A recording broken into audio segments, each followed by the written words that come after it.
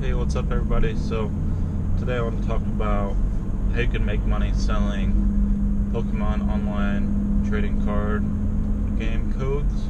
So, these are um, if you buy Pokemon packs, like trading card packs, there's going to be a card in each pack that has a code on it, and this code can be used to get an online pack the online trading card game. So a lot of people buy these just because they play the game, and you can use those to uh, kind of collect cards online. Uh, they're not really worth a whole lot. You might get maybe 10 cents, 5 cents for them a piece. Um, but go around to card shops and maybe a lot of the card shops just throw them away.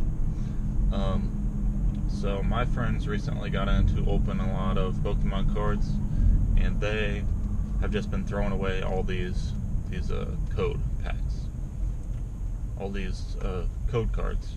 They've just been throwing them away, and now whenever they open, they've opened like a couple booster boxes and just throw them away. So now whenever they open some packs, they're just gonna give them to me instead of throwing them, throwing them away. Um, and they've opened a couple booster boxes, so that's close to 100.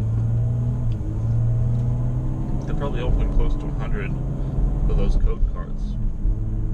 And I could have made uh, not a whole lot, but 10 bucks. 10 bucks on it, maybe. Um, so it's like free money that you're that people are just throwing away. And if you go around to card shops, I'm, I guarantee that there's going to be a lot of people just wanting these code cards, or a lot of people like throwing them away, and they're just gonna, um, if they don't use them, if they don't sell them, then you should be, just be able to ask for them and they will give them to you. So that's just an idea. Um, and there's other things that I'm sure a lot of card shops and stuff throw away. So there's